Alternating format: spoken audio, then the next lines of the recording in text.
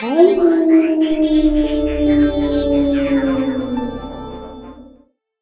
guys, welcome back. This is Adrian Boysel. Got a great Wisdom Wednesday episode for you today. Something that I've been wanting to talk about for a very long time, and it's actually going to be in my masterclass. So we're going to jump into it real quick. And I'm going to talk to you guys today about lead generation. That is a really big word that's been growing and growing in the industry of digital marketing for the last decade. And it's at probably its peak in popularity than it's ever been. There's a lot of companies out there talking about lead generation, but there's not a lot of clarity about how that actually works. So what I'm going to do to you, with you guys today, so what I'm going to do with you guys today is kind of take you through and show you how lead generation works from my perspective. So I got my whiteboard here, and what we're going to talk about first is property. So number one on the how-to of lead generation, it's property. So what you need to do first, if you want to generate leads, you have to build a property. And what I mean by property, that's either going to be a landing page or a website.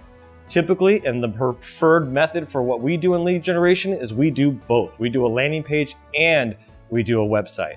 And how the website works, we'll do that first, is we actually build a website that has unique and authoritative content. And what I mean by unique and authoritative content is uniquely written content that nobody else has ever written. You're not copying and pasting from other people's websites. This is out of your own mind and your own brain. We take that content, we write it specifically for your niche and for your business with the right keywords in there that are actually going to help you rank and show up at the top of the search engines. That's a really, really big deal. When it comes to landing pages, you are going to drive traffic to that landing page through paid advertising methods, whether that's a Facebook ad, a Google ad, an Instagram ad, LinkedIn, whatever that is, you're going to send your visitors through a channel of paid advertising. That's how that's going to work. And with the websites, you're going to send them through organic traffic or what some call SEO.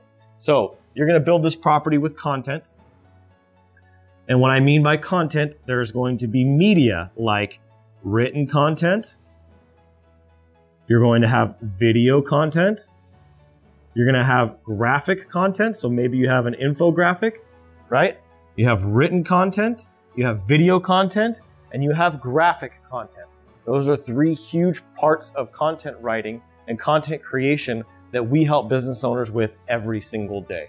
Okay? So you have your property that you build that has a lot of great keywords, a lot of great images, a lot of great videos, really good content. It can even be audio content. That's another thing that people are putting on their websites nowadays. That's what you need to rank organically. And you need to create lots of that content. There's blogging, articles, there's all kinds of written content that you can put on your website to help drive traffic back to you. Now, what happens is when you build this property, you're going to build it with all these keywords in mind and with all this content in mind.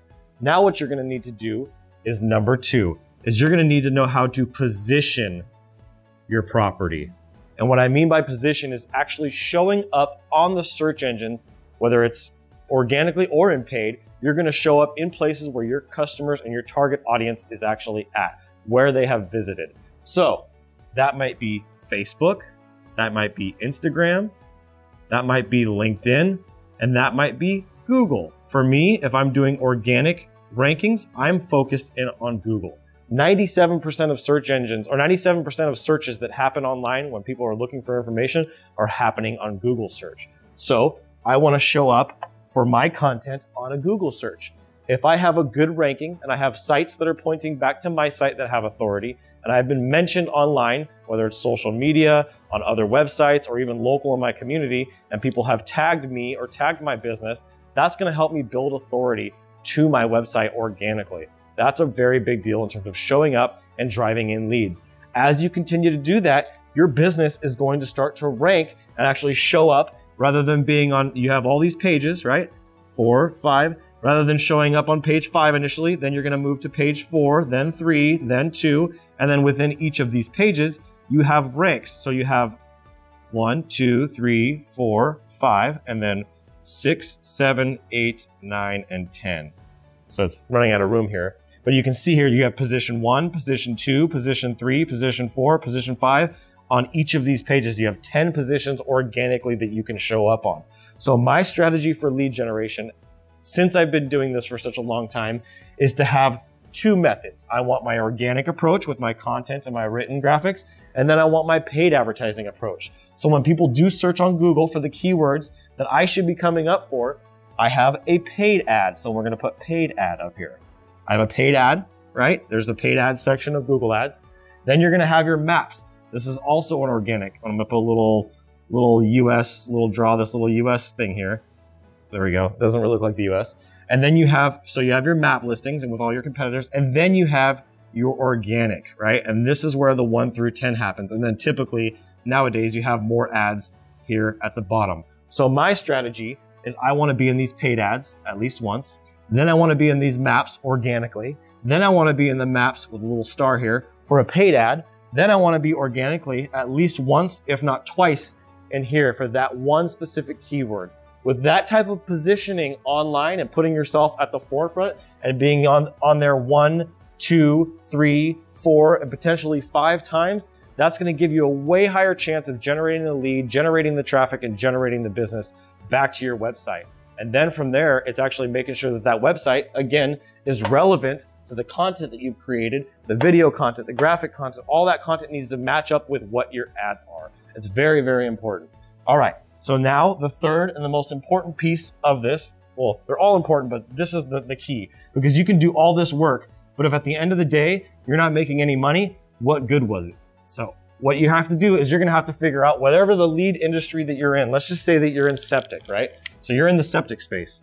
Okay. The average septic owner is looking for deal. Septic construction company or engineering company or design company is going to be acquiring a deal, and that deal is going to be worth a minimum of $5,000. Okay.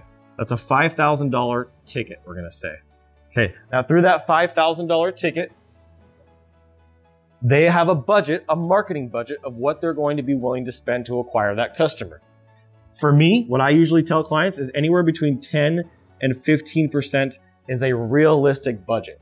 So if I have a $5,000 customer, I'm going to be spending between $500 and $750 to generate that customer. Now keep in mind, every lead that you bring in is not going to become a customer. So we're talking about final landed customer acquisition cost. So if you want to actually land a customer for 500 to $700, you got to do the math. So if I'm going to create a Google ad or an organic ad and I send somebody to my website or to my landing page, and let's just say I get 10 visitors to my website, okay?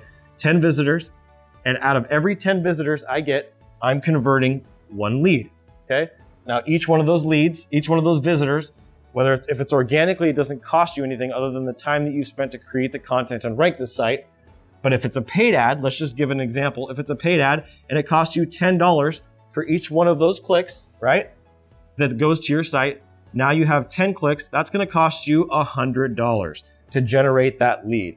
Now let's just say your closing ratio is 20%.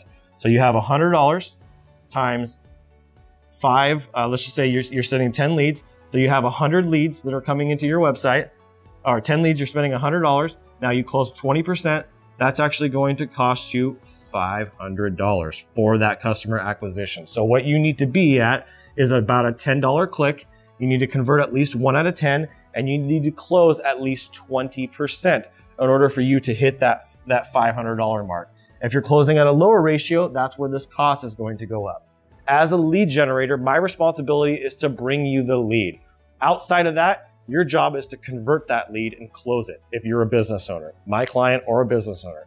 So that, in a very quick nutshell, is how lead generation works.